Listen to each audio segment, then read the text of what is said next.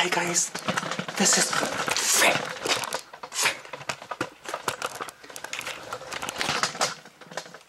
Hi guys, this is Phil McCracken, and I just saw footage of a meteorite that crashed, and I just want to know why are the Russians allowed to be shooting these meteorites because that should be against the law, and I am hoping that the United Nations stops them from doing it.